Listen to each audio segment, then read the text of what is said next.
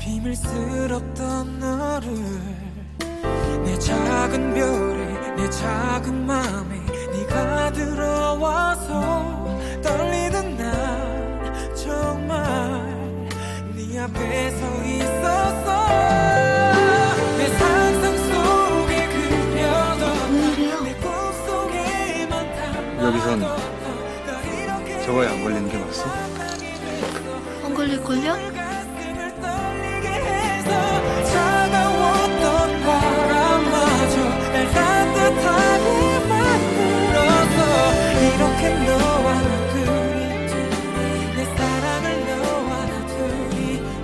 양관의 예의를 지키라 하지 않았어.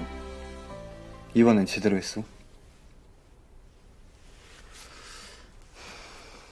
그내 사는 곳에선 이거는 정인들 사이에서나 하는 것인데 여기선 고작 작별 인사라니 참 이상하긴 한데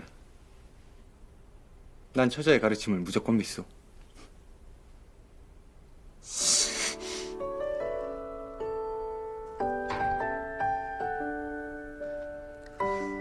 가보시오 얼른.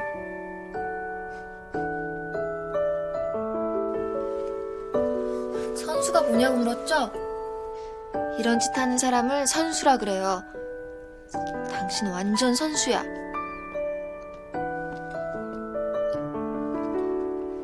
야 최희진 너 여기 있냐? 화장실 간다더니 여기서 뭐해? 내가 길을 잃어서 좀?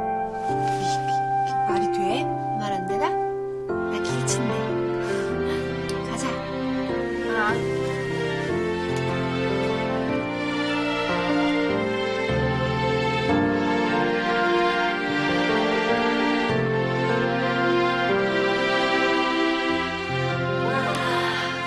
아중 다행이다. 어?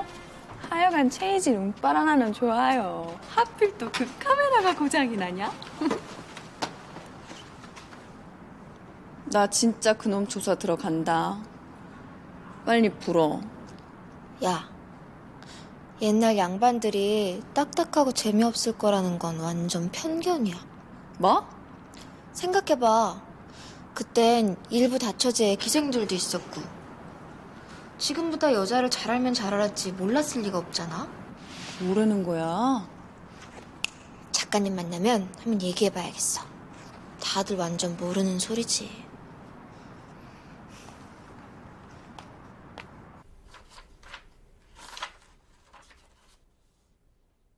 갑술년 3월 10일. 옥당강 김봉도의 시간에